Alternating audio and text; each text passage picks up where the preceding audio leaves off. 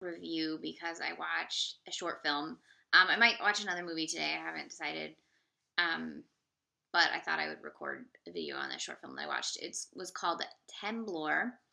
It's from 2012 and it was written and directed by Marina Fernandez Ferri.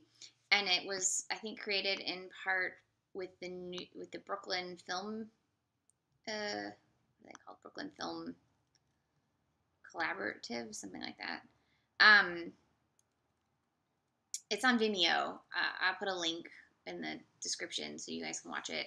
Uh, temblor, according to Google Translate, means tremor or earthquake, and it's the short. It's about ten minutes long. It's about a woman who has moved from Spain to New York to live with her boyfriend, um, but it mostly focuses on sort of the isolation of New York.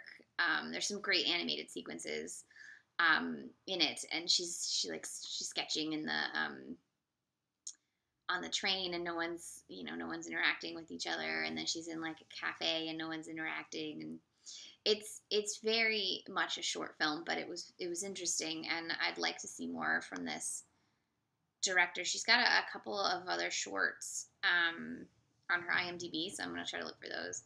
But this one in particular um, or that she's produced i guess this one in particular um, i enjoyed it's very short 10 minutes so you can just watch it uh, it's beautifully crafted, uh, and I really, I really enjoyed it.